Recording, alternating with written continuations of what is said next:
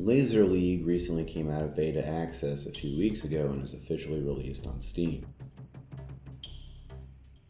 Laser League is a 2v2 or 3v3 game about teams acquiring points with the hopes of disabling other players on the battlefield. There are points that consistently shift and revolve around the map, making it difficult to acquire points, and when activated will shoot out a wall that will incapacitate the other players of the opposing team. Additionally, there is a class-based system that makes the game more complex. You have classes ranging from those that can incapacitate other classes to those that can take out laser walls using your special abilities.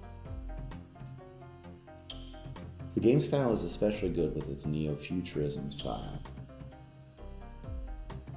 But as a multiplayer time sink, I think it might have staggered itself. It recently came out in a humble bundle, clearly trying to accumulate a populace right off the bat, and when I acquired the footage, it was floating around about 100 players. It's a shame because the only other game like it is Rocket League, and both deserve their own player base. This game is challenging, even though it has its moment where it appears unfair to my own personal disbelief. Sometimes I get lost on the screen, even though the stark colors should make it clear and obvious. However, I detect zero to no netcode or lag problems, so the game has that going for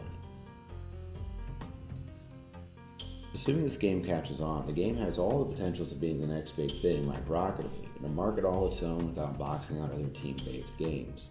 It's a great investment for your time, and it's a smart way to develop a new skill with a growing fan base that has a high skill ceiling, but not a lot of masters right now.